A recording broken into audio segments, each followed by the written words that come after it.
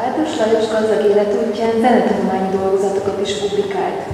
Eredményei korszakos jelentőségűek, legyen szó Gregorian koráról, vagy modern zenéről, a modális vagy romantikus zene harmónia világáról, az organikus szövésmódról, mint jellegzetes kompozíciós technikáról, vagy bizonyos prozódiai, ritmikai hangrendszeri jelenségekről. Mindezek mögött egy teljesen új szemléletmód áll, amely az analitis és az élő zenei gyakorlat elválaszthatatlan egységén alakult. Mindezek mellett Pártos Lajos tevékenyen részt vállalt Magyar Kórus mozgalomban. Az általa alapított Magyar Kórus kiadóvállalat állt az éneklő ifjúság mozgalom mögött is. Lankadatlan szorgalomban és lelkesedéssel vett részt az ország kórus kultúrájának fellendítésében, élete végéig tartó rendszeres utazásai során látta el jó tanácsaival a legeldogottabb települések karnagyait is. Hozzá hasonlóképpen Erdélyben Gutman Mihály látta el ezt a feladatot.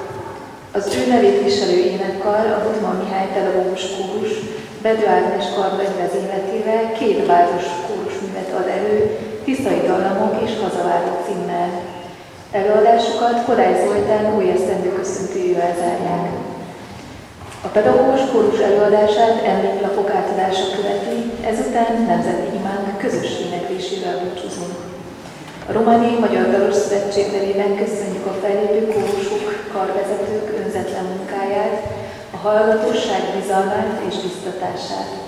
Kívánjuk, hogy minden napjaikat művészi értékű zene kísérje.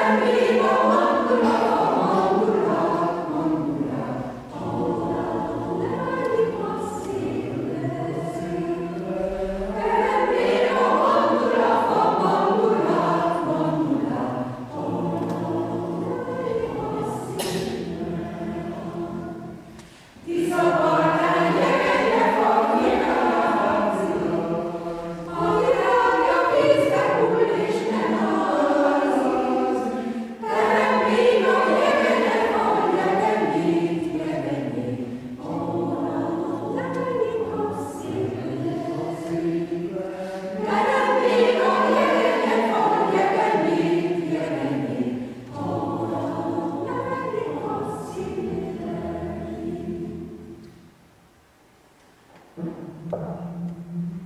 you.